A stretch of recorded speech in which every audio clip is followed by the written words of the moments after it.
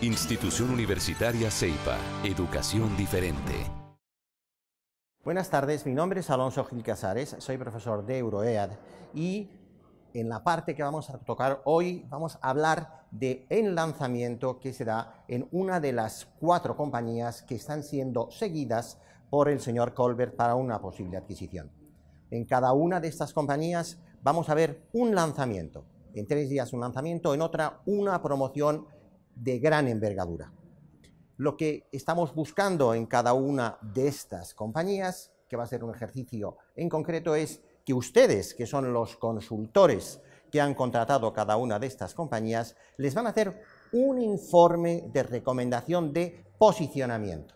¿Qué es lo que estamos buscando como posicionamiento? Un público objetivo al que va dirigido este producto, en qué mercado se van a mover esta este producto en concreto y qué punto de diferencia va a tener este producto frente a lo que existe en el mercado.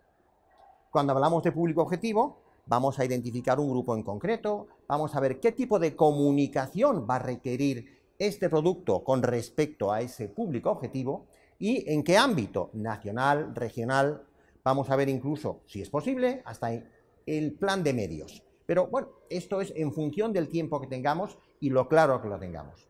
Con respecto al punto de diferencia, este producto en concreto tiene muchas virtudes, tiene una serie de características. Vamos a escoger cuál es el punto de diferencia que queremos enfocar en frente al mercado y cuál es el beneficio en concreto de este producto. Ustedes van a estar compitiendo entre los cuatro grupos, eh, que, entre los diferentes grupos que están eh, en lead en este, en este concurso Master Chief. Nos interesa realmente que sea algo breve y claro. Por último, en tres de los grupos que vamos a hablar, porque hay uno que es una promoción, como comentaba, también vamos a hablar de la distribución y del precio. Es interesante saber dónde queremos colocar el producto para que se venda y a qué precio, en función también del público objetivo. ¿Qué es lo que evaluamos finalmente? La coherencia de todos esos puntos. Ustedes como consultores tienen que desarrollar un plan para vender en siete minutos donde se vea a nivel global este posicionamiento y que sea lógico, que no tengamos un posicionamiento de un producto de lujo que se vende en la tienda de la esquina, por poner un ejemplo.